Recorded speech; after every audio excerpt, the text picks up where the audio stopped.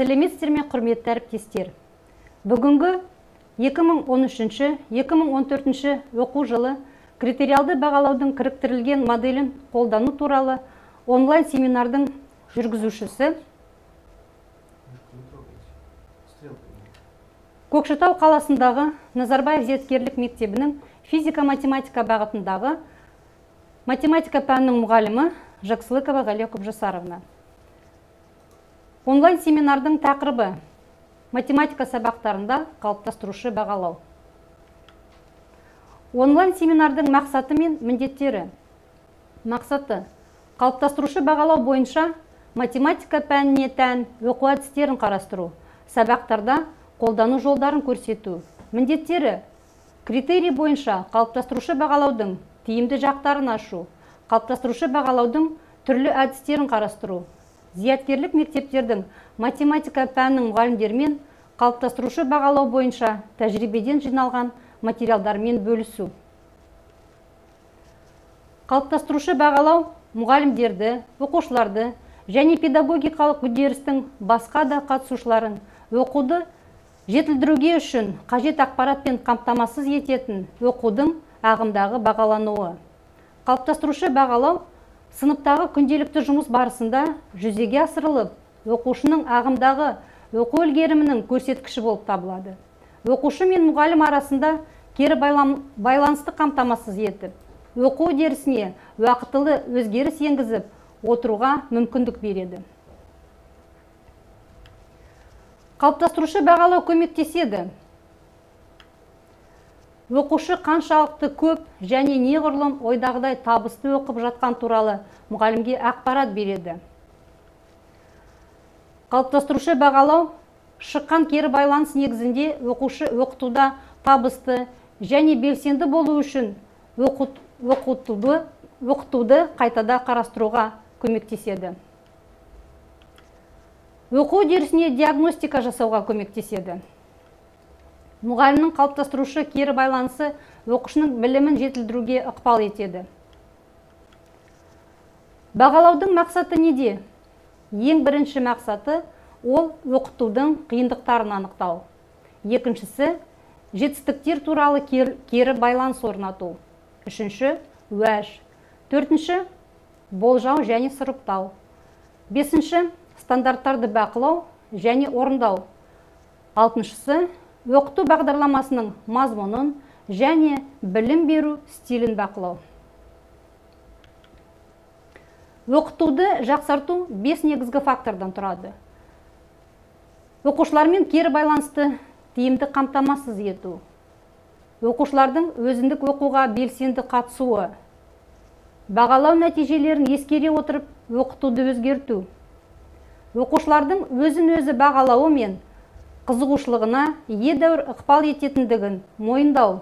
Бұл өз кезегінде оқытуға шешуші түрде ықпал етеді. Оқушылардың өздерін өздері бағалай алуы және өздерінің оқуын қалай жақсартуға болатындығын түсіну қажеттігі. Оқушының өзін өзі бағалауын дамыту мынадай төрт элементке тәуелді.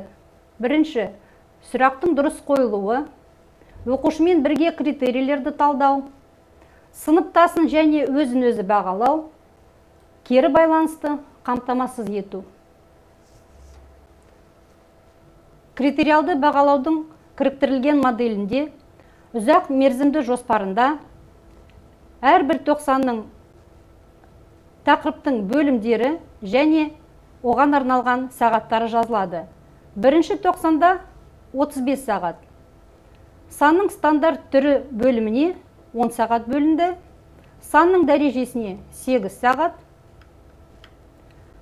Бұрыштар және оларды есептеуге 15 сағат. Оқыту мақсаттары мен және бағалау критерийлері сәйкестендіріледі. Мысалы бірінші тоқсанда бірінші критерий білу және түсінуге сегіз оқу мақсаты қарастырылған. Бірінші оқу мақсаты санның стандарт түрі ұғымын оның маңызды бөлігін және ретін біледі. Стандарт түрде жазылған санның ретін және маңызды бөлігін анықтайды. Бүтін теріс көрсеткішті дәреженің анықтамасын біледі және дәреженің негізі нөл болмау керектігін түсінеді. Геометрияның негізгі ұғымдарын нүкте түзу жазықтық біледі.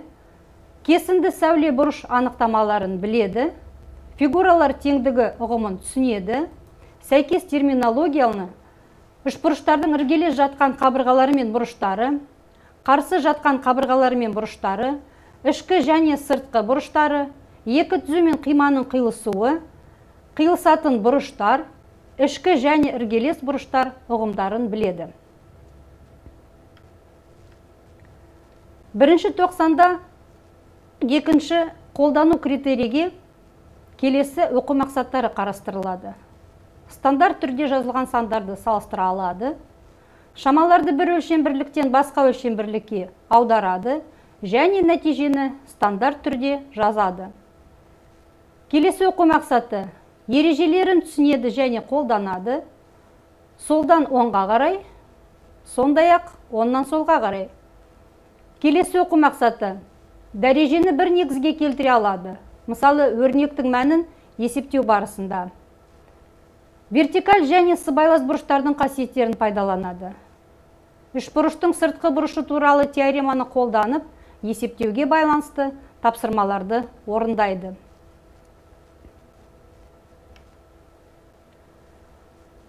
Үшінші сын тұрғысынан ойлау және зерттеу критерий бойынша келесі төрт оқу мақсаты қарастырылады. Бірінші қоршаған ортада кездесетін өте үлкен немесе өте кіші шамалармен байланысты қарапайым есептерді шығарады.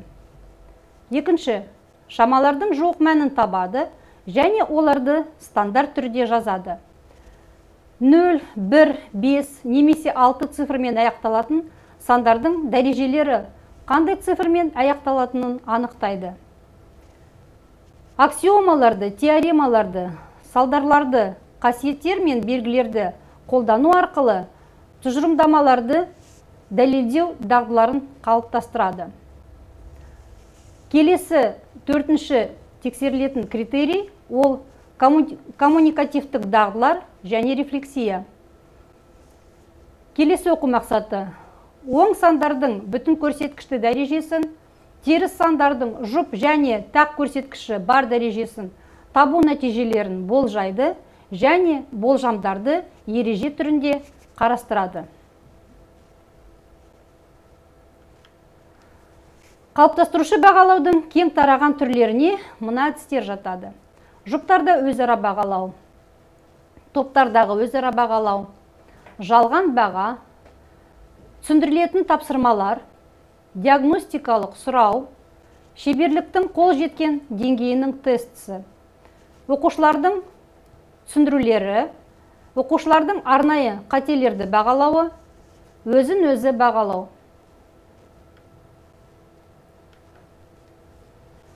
Сіздердің назарларыңызға қалыптастырушы бағалауға арналған тапсырманың үлгісі өзіндік жұмыс. Қалыптастырушы бағалауға арналған тапсырмада тақырып оқу мақсаттары тексерілетін критерийлер және осы критерийлерге жету үшін арнайы дескрипторлар жазылады. Тексерілетін оқу мақсаты. Санның стандарт түрі ұғымын оның маңызды бөлігін және ретін біледі. Келесі оқу мақсаты. Өте үлкен немесе өте кішкентай шамаларды жазу үшін сандарды стандарт түрде жазудың қажеттілігін түсінеді. Мысалы мемлекет халқының санын немесе молекула өлшемін жазу үшін шамаларды басқа шамалар арқылы жаза алады. Үшінші оқу мақсаты. Қоршаған ортада кездесетін өте үлкен немесе өте кіші шамалармен байланысты қарапайым есептерді шығарады. Келесі критерийлер тексеріледі. Бірінші білу және түсіну екінші қолдану үшінші сын тұрғысынан ойлау және зерттеу. Тапсырма жазылады. Айдың көлемі 21 миллиард 990 миллион текше километр. Жердің көлемі 1 триллион 83 миллиард текше километр. Мұны стандарт түрде жазыңдар және оның маңызды бөлігін ретін анықтаңдар. 21 миллиард 990 миллионды текше метрмен өрнектеңдер. Қайсысының көлемі үлкен нешеге үлкен неше есе үлкен? Әрбір оқу мақсатына сәйкес критерий және осы критерий критерийге жету үшін дескрипторлар жазылады. Мысалы бірінші оқу мақсатына дескриптор санның стандарт түрі ұғымын оның маңызды бөлігін және ретін білемін. Екінші оқу мақсатына қолдану критерийге жету үшін келесі дескрипторлар өте үлкен немесе өте кіші шамаларды стандарт түрде жаза аламын. Бір шаманы басқасы арқылы жаза аламын. Үшінші оқу мақсатына жету үшін сын тұрғысынан ойлау және зерттеу критерий. Осы критерийге жету үшін келесі дескрипторлар қарастырылады. Қоршаған ортада кездесетін өте үлкен немесе өте кіші шамалармен байланысты қарапайым есептің математикалық моделін құра аламын. Сандарды стандарт түрге келтіріп оларды салыстыра аламын. Стандарт түрде жазылған сандарға амалдар қолдана аламын. Келесі сіздердің назарларыңызға қалыптастырушы бағалауға арналған тапсырманың үлгісі. Математика 8 сынып өзіндік жұмыс 15 минутқа. Қалыптастырушы бағалауда тарау сабақтың тақырыбы оқу мақсаттары критерийлер және тапсырма жазылған. Бірінші оқушының жұмысы. Бірінші оқушының жұмысы жеті деп бағаланды. Себебі оқушы осы тапсырмада қойылған сұрақтарға бәріне дұрыс жауап берді. Екінші оқушының жұмысы талпынады деп бағаланады. Себебі оқушы қойылған сұрақтарға дұрыс жауап бере алмады. Стандарт түрде берілген сандар мен амалдарды орындағанда тиімді әдіспен шығарған жоқ. Және де мұғалім қалыптастырушы жұмыстың ішінде оқушыға ескертпелер нұсқаулықтар жазады. Мысалы ыңғайлы тәсілді қолдану үтірден кейін екі ондық таңба қалдыру керек тағы да басқаша. Екінші оқушының жұмысы талпынады деп бағаланады. Себебі оқушы сұрақтарға дұрыс жауап берген жоқ. Екінші қолдану критерий бойынша стандарт түрде берілген сандарды дұрыс салыстырған жоқ және амалдарды дұрыс орындаған жоқ. Сондықтан оқушының жұмысы талпынады деп бағаланады. Қалыптастырушы жұмыста мұғалім өзінің ескертпелерін және нұсқаулықтарын жазады. Мысалы ыңғайлы тәсілді қолдан үтірден кейін екі ондық таңба қалдыру керек екенін жазады. Қалыптастырушы бағалауға арналған тапсырма шағын жоба. Оқушыға алдын ала ескертіледі. Слайдтар саны бестен артық болмау және шешуі слайдта көрсетілу керек. Келесі қалыптастырушы бағалауға арналған тапсырма шағын жоба. Оқушыға алдын ала ескертіледі. Слайдтар саны бестен артық болмау керек және шешімдері слайдта көрсетілу керек. Тақырып стандарт түрдегі сандар арқылы есептерді шешу. Оқу мақсаты өте үлкен немесе өте кіші шамаларды жазу үшін сандарды стандарт түрде жазудың қажеттілігін түсінеді. Қоршаған ортада кездесетін өте үлкен немесе өте кіші шамалармен байланысты қарапайым есептерді шығарады. Тексерілетін критерий сын тұрғысынан ойлау және зерттеу. Қалыптастырушы бағалауға арналған тапсырманың үлгісі. Шағын жоба. Тапсырмада көрсетіледі оқу мақсаттары тексерілетін критерийлер. Тапсырма. Ғаламтордан немесе қосымша оқулықтардан өте үлкен немесе өте кіші шамалармен байланысты мәліметтерді тауып екі есепті құрастыру және олардың шешулерін көрсету. Әрбір оқу мақсатына критерий және осы критерийге сәйкес дескрипторлар құрастырылады.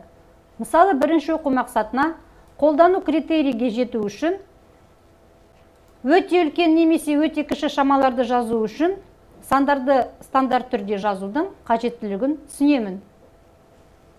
Екінші оқу мақсатына критерий сын тұрғысынан ойлау және зерттеу арнайы дескрипторлар құрастырылады. Оқушының жұмысы. Оқушы екі есеп құрастырды. Оқушының жұмысы жетті деп бағаланды. Себебі оқушы есеп құрастыра алды және оның шешуін көрсете білді. Есептің шешуі оқушының құрастырған екінші есебі оқушы шешуін дұрыс көрсете білді. Оқушының жұмысы жетті деп бағаланды. Екінші оқушының жұмысы. Есепті дұрыс құрды және шешуін көрсете білді. Оқушының жұмысы жетті деп бағаланды. Шешуі оқушының құрастырған екінші есебі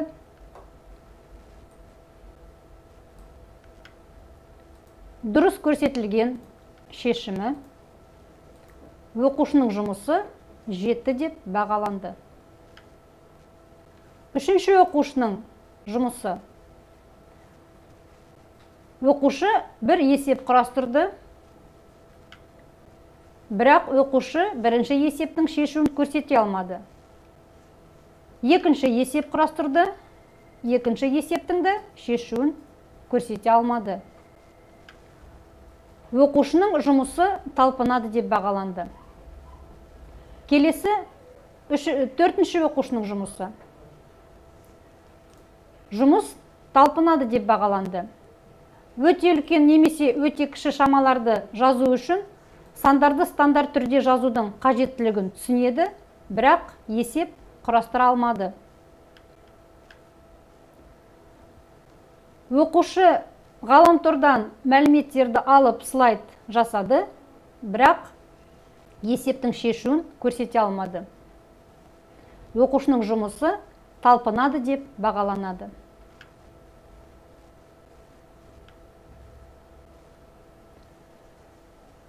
Келесі қалыптастырушы бағалауға арналған тапсырма 3 минуттық эссе.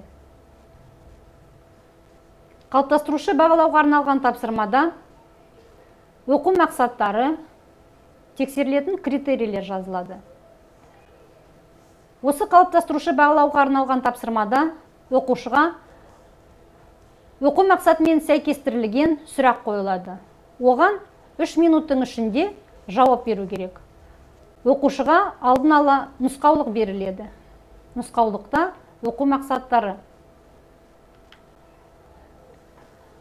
Тапсырма. Бірінші ақпан 2013 жылы қазақстанның халық, саны 16 миллион 934 мың 100 адам болды. Әлемдегі халқы ең көп ел қытай. Халық саны 1 миллиард 338 миллион 613 мың адам. Сандарды стандарт түрге келтіріп салыстырыңыздар. Қытай халқы қазақстан халқынан нешеге көп және неше есе көп? Тақырып күрделі есептерде дәрежелердің қасиеттері мен және олардың қолданылуы. Тексерілетін оқу мақсаты 0, 1, 5 немесе 6 цифрмен аяқталатын сандардың дәрежелері қандай цифрмен аяқталатынын анықтау. Тапсырма. Санның соңғы цифрын анықтаңдар. 319-дың 636 дәрежесі плюс 3 көбейту 538-дың 196 дәрежесі минус 786-ның 199 дәрежесі. Тексерілетін критерий сын тұрғысынан ойлау және зерттеу. Осы критерийге жету үшін мынадай дескрипторлар орын алды. Берілген мәліметті талдай отырып, шығару жолын дұрыс анықтайды. Санның соңғы цифры бойынша дәреженің соңғы цифрын анықтай алады. Күрделі өрнектің соңғы цифрын анықтай алады. Сіздердің назарларыңызға видеоролик 3 минуттық эссе. Оқушыға оқу мақсатымен сәйкестірілген сұрақ қойылады. Оған 3 минуттың ішінде жауап беру керек.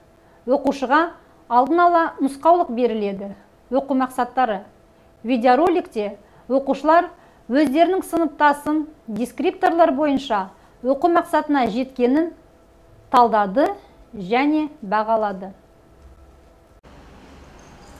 есептік берілгені бойынша мына санның соңғы цифрын табу керек бірінші санның соңғы цифры тоғыз болғандықтан санның дәреже көрсеткіші екіге артқан сайын санның соңғы цифры қайталанып отырады. Олар тоғыз және бір. Ережені қолдана отырып мен алты жүз отыз санын екіге бөлемін. Сонда қалдық шықпайды яғни кесе бойынша келетін. Екінші сан бір шығады. Одан соң мына екінші санның соңғы цифры сегіз болғандықтан санның санның дәрежесі артқан сайын цифры қайталанып отырады олар сегіз төрт екі алты жүз тоқсан алты төртке төртке бөлінеді себебі оның екі соңғы цифрынан құралған тоқсан алты саны төртке бөлінеді яғни кесе бойынша келетін төртінші сан алты шығады ал алты мен үшті көбейткенде шыққан он сегіз санның соңғы цифры сегіз болғандықтан бұл бұл екінші санның соңғы цифры сегіз болады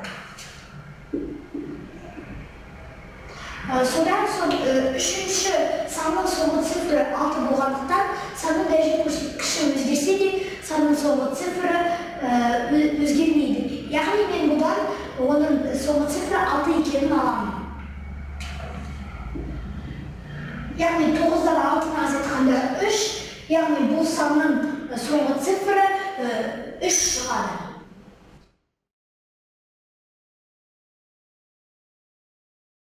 менің ойымша олжас берген мәліметті талдай отырып шығару жолын дұрыс анықтады себебі ол әрбір санның соңғы цифрын таба алды және олардың бір біріне қосып және азайту амалдарын орындап жалпы өрнектің соңғы цифрын таба алды деп ойлаймын.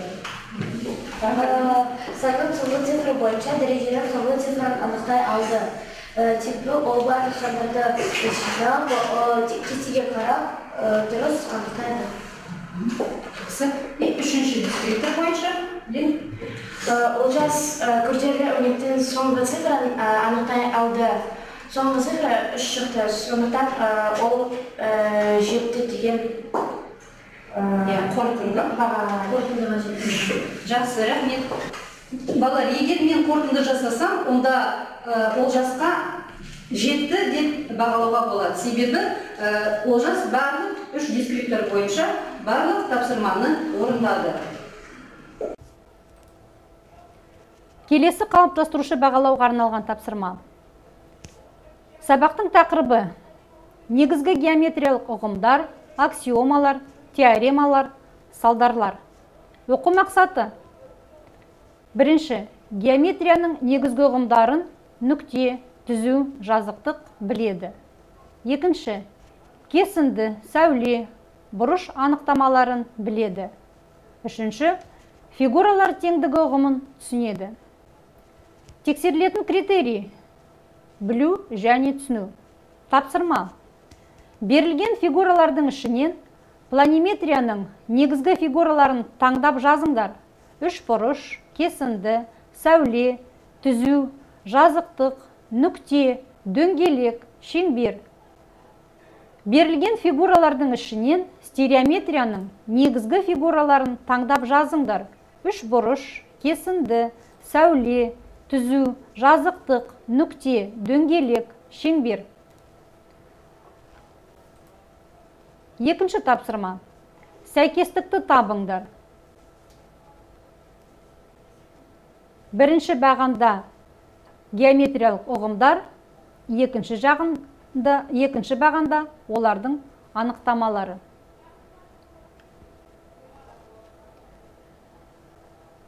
Әрбір оқу мақсатына әрбір критерийге арнайы дескрипторлар. Бірінші оқу мақсатына білу және түсіну критерийге келесі дескрипторлар. Планиметрияның негізгі фигураларын білемін. Стереометрияның негізгі фигураларын білемін. Екінші оқу мақсатына білу және түсіну критерийге. Келесі дескрипторлар. Кесіндінің анықтамасын білемін сәуленің анықтамасын білемін бұрыштың анықтамасын білемін. Үшінші оқу мақсаты критерий білу және түсіну дескрипторлар. Тең фигуралар ұғымын түсінемін.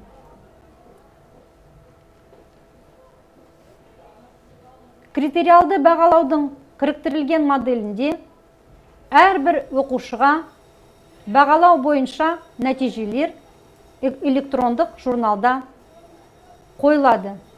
Әрбір ұяшықта оқу мақсатына жетті немесе талпынады деп бағаланады.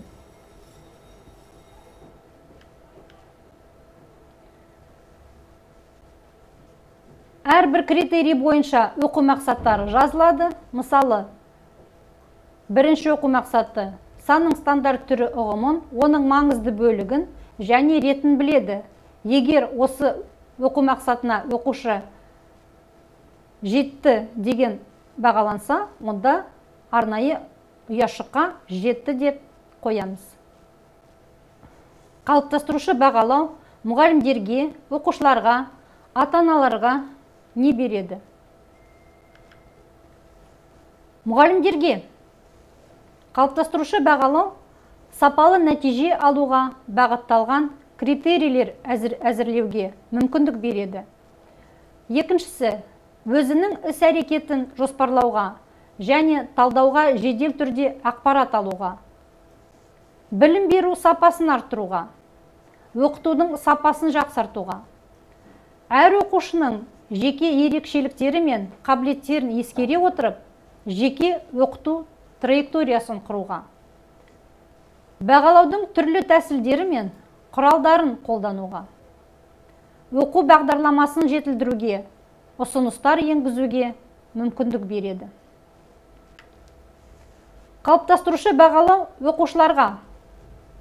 Ең бірінші өзінің түсінігі мен қабілетін көрсету үшін оқытудың түрлі стильдерін және ойлау әрекетінің типтерін қолдануға. Екіншісі өз нәтижелерін болжау. Қалыптастырушы бағалау оқушыларға ең бірінші өзінің түсінігі мен қабілетін көрсету үшін оқытудың түрлі стильдерін және ойлау әрекетінің типтерін қолдануға. Өз нәтижелерін болжау арқылы табысқа жету бағалау критерийлерін білуге және түсінуге мүмкіндік береді. Қалыптастырушы бағалау оқушыларға өзінің және өз құрдастарының жетістіктерін бағалап рефлексияға қатысуға мүмкіндік береді. Шынайы міндеттерді шешу үшін өз білімдерін қолдануға түрлі қозғарыстарды білдіруге сын тұрғысынан ойлауға мүмкіндік береді. Қалыптастырушы бағалау ата аналарға өз баласын оқытылу деңгейі туралы объективті дәлелдер алуға мүмкіндік береді. Баланың оқудағы прогрессін қадағалауға оқу үрдісіндегі оқушыға қолдау көрсетуге мектеп әкімшілігімен мұғалімдермен кері байланыс орнатуға және баласының мектепте және сыныпта жайлы сезінуіне сенімді болуына мүмкіндік береді. Семинарға дайындалу барысында қолданылған әдебиеттер тізімі және осы семинарды Moodle ниш еду kz сайтында қарауға болады. Назарларыңызға рахмет.